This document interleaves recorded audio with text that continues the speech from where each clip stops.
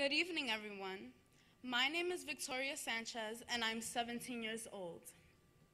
I'm a senior at Fordham High School for the Arts in the Bronx, and I've been a member of the Madison Square Boys and Girls Club Columbus Clubhouse for 11 years. My mom initially signed me up to the Boys and Girls Club during the summer program, and I remember having so much fun.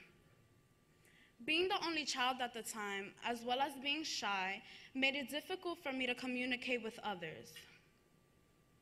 My mom wanted me to develop a, my mom wanted me to develop more social skills, and I surely did by attending the Boys and Girls Club.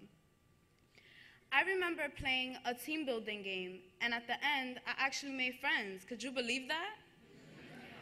It made me comfortable enough to joke around and be in tune with the club.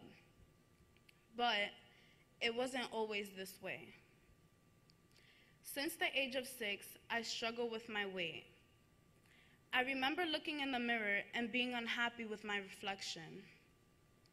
I would compare myself to magazines I saw and other girls that attended my school. As difficult as that was for me to deal with, it got even worse when kids at school started bullying me because of my weight. At first, it was mostly boys, but then girls started to verbally attack me as well. I'm very sensitive, so instead of putting up a fight, my emotions would take over me and I would zone everyone out because of how bad I felt. I remember speaking to a staff member, and she told me not to let anyone put me down because I am perfect just the way I am, and I believed her. During eighth grade, I started to gain confidence and I spoke with my mom. She helped me make healthier choices. It involved eating healthier and exercising. There were times where I felt like giving up. I even asked myself, is it worth it? My friends, family, and staff at the Columbus Clubhouse helped me through the process. Ultimately, I got slimmer and I began to feel amazing People even started treating me differently. I felt like I fit in. I was ecstatic to know that I didn't have to pay attention to what, what anybody thought of me anymore. I now loved who I saw in the mirror. One day, I came to the club and the fitness director informed me of a great opportunity to become a cheerleader. I thought it was a great idea. It took me a step closer in building my confidence and trying something new.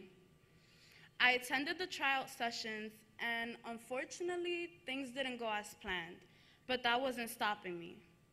It was still a great experience and very rewarding.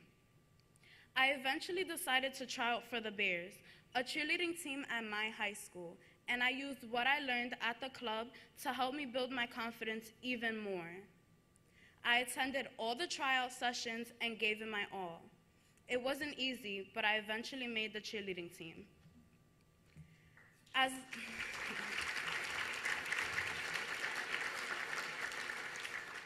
as my confidence grew, it made me want to help others. At first, I helped veterans and the homeless. Then I started to volunteer more at the club. I assisted staff and their groups with activities such as team building. First and foremost, I would like to thank my parents for being my support system. I also would like to thank the Columbus Clubhouse. The club has taught me to have confidence and not let anyone put me down. Because of that, I know I can do anything I put my mind to. This June, I will be graduating from Fordham High School for the Arts, and in the fall, I will be attending SUNY Delhi to major in pediatric nursing.